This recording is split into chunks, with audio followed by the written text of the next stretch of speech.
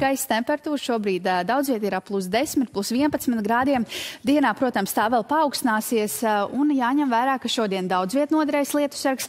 Ir gaidāms lietus, jo mūsu teritori teritorija no rietumiem sasniegs jaunu un plašu nokrišņu zona, kas lietu atnesīs daudz viet Latvijā. Arī mākoņu debesīs būs diezgan daudz, putīs dienvidu rietumu vējš un gaisa temperatūra šodien sasniegs plus 11, plus 15 grādus. Rīgā savukārt gaisa iesils līdz plus 14 grādiem, arī galvaspilsētā būs daudz mākoņu un ik pa laikam sagaidīsim lietu. Turpmākajās dienās laikapstākļi būtiski nemainīsies. Gaisa temperatūra būs līdzīga kā līdz šim. Naktī uz trešdienu un naktī uz ceturtdienu plus 6, plus 12 grādi, bet dienu laikā plus 10, plus 14 grādi.